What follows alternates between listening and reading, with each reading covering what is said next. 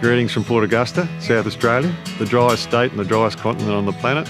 Here at Bungala, we uh, specialise in kangaroos and sunlight.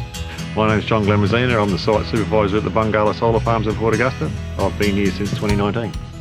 I like the job. I like being in the power generation industry.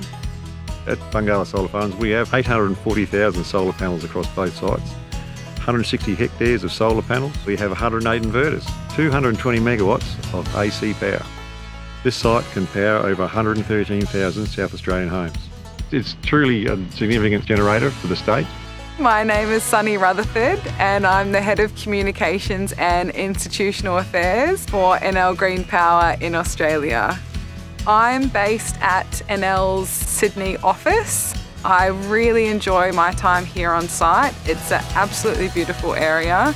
Australia has the opportunity to be absolutely world leading in terms of the global energy transition. This project really excites me because it's the energy transition underway in Australia. My name is Ben Kadanak. My favourite thing about my job would have to be the working hours. Gives me time to go do things in the afternoon uh, because I start work so early in the morning. I work so early because the sun rises early. It's good to see how the plant's going to perform, see if there's any issues. First thing in the morning, you can jump on them straight away so we can get production kicked off and working well throughout the day. Myself and my team all come from a power generation background. We've all previously worked at the coal-fired power station that was in Port Augusta. Um, it was demolished in 2016. I started my career in the energy generation sector back in 1986. I was apprentice at the power station for the old Electricity Trust of South Australia. Through that I've worked in coal mines and coal-fired power stations for a great deal of my life. I've seen the introduction of the national electricity market and the changing in, in power generation in Australia across the board. Uh, and now I'm part of that generation, part of the change, of the renewable energy sector. I've always had an affinity with solar energy. Going back to my high school days, I was part of the World Solar Cycle Challenge. Not a lot of people get to transition from one type of industry to another within the same industry, so still in energy, but creating clean energy rather than the dirty stuff. Makes you feel pretty proud at the end of the day. So here on site, safety is our number one priority. We make sure that everyone on site is coming to site and leaving site in the same condition. My name is G and I'm the operational efficiency solar engineer. What I do day to day is I start with checking the plant's KPIs, including the energies, production, and the data availability quality things. It's really nice to actually standing here, see all the plants and power stations. I've been checking on monitoring system every day.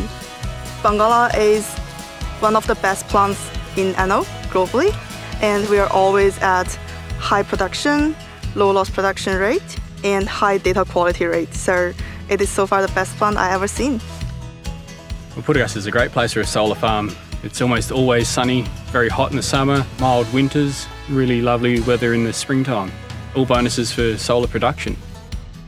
Here at Port Augusta we have an abundance of power and abundance of sunlight, we need electrification of society, so we have somewhere to put electricity during the day. We generate primarily during the day and we need to store that either in vehicles or in houses, um, wherever it needs to go.